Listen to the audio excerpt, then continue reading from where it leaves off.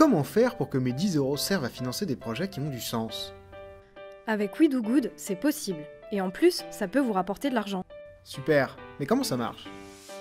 C'est simple, vous investissez dans le projet qui vous correspond et s'il réussit, vous recevrez chaque trimestre une part de ses revenus. C'est comme si je devenais actionnaire Non, car le capital n'est pas partagé. Le porteur de projet reste le propriétaire. Alors, euh, c'est comme du prêt? Non plus, car les versements dépendent des revenus du projet. Le retour de mon investissement dépend donc de la réussite du projet. Plus il gagne, et plus je gagne. Et donc plus tout le monde y gagne. Un travail d'équipe finalement. Exactement, avec We Do Good, vous avez intérêt à croire au projet jusqu'au bout. Génial. Je commence par où? Sur WeDoGood.co, l'investissement participatif a un impact positif.